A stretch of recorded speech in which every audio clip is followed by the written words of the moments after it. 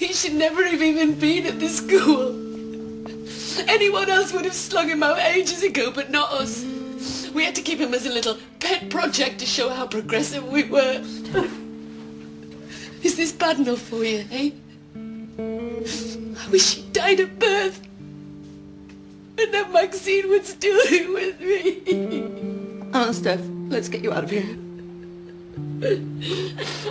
Come on.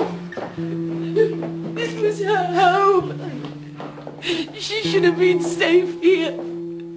She should have been safe with me.